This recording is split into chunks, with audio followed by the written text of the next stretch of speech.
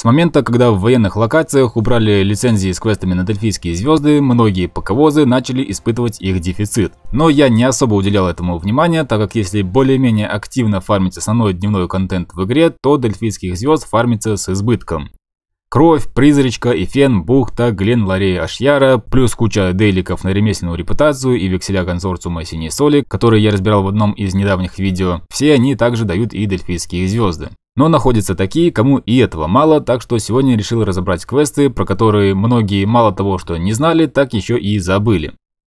Про некоторые из этих квестов нам напомнил нынешний марафон «Тайны Вечной Зимы», так что подробно на них останавливаться не будем, а рассмотрим менее очевидные квесты, о существовании которых многие новички могут даже и не подозревать. Начнем с квестов консорциамата. На обычных пугалах есть станок, называется консорциамат. Если у вас такого пугала нет, то отдельно консорциамат можно скрафтить и поставить возле дома.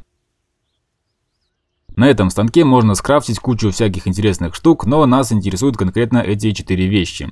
Курочка, уточка, гусь по-фермерски и овощной рагу с шафраном.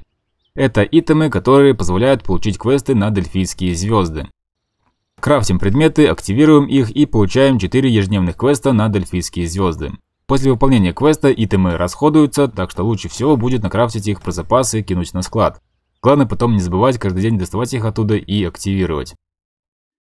Поштучно крафтить их будет слишком долго, поэтому лучше через книгу рецептов разместить заказ сразу на большое количество. Так выйдет гораздо проще и быстрее. Квесты эти в игре довольно давно, но ввиду того, что они так запрятаны, многие могли о них и не знать. И теперь еще четверка неочевидных квестов – это квесты на собирательные профессии. Чтобы их получить, у вас должна быть прокачана соответствующая профа минимум до 50 тысяч, ну так было раньше.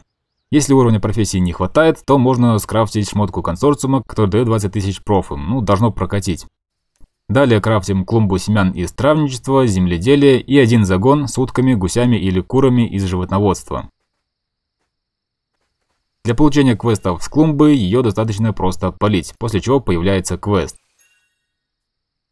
А вот для получения квеста с загона придется подождать, пока он созреет или вырастет, хз, как тут правильно сказать. Ну, короче, закончится таймер.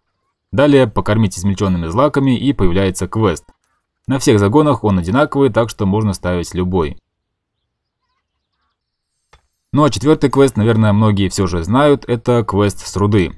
Если горное дело прокачано до 50 тысяч, то на прокнутых месторождениях будет высвечиваться ежедневный квест на Дельфийскую звезду.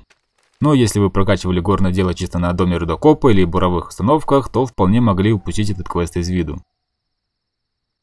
Ну и наконец, что по себестоимости. Все вышеперечисленные квесты требуют некоторое количество ресурсов для их выполнения. Я сделал небольшую табличку с суммарной себестоимостью всех этих квестов, чтобы можно было прикинуть, есть ли смысл их вообще делать.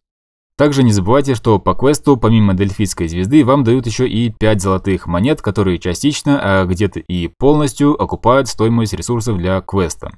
Цены взяты средние за неделю на аукционе, если же все эти ресурсы вырастить самому, то естественно получится выгодней. К тому же их нужно совсем немного. Ну вот как-то так. Все эти квесты отнимают совсем немного времени, зато позволяют получить как минимум 8 дополнительных дельфийских звезд в день. Если подобные квесты на оставшиеся две профы, заготовку древесины и рыбную ловлю, честно говоря, не знаю.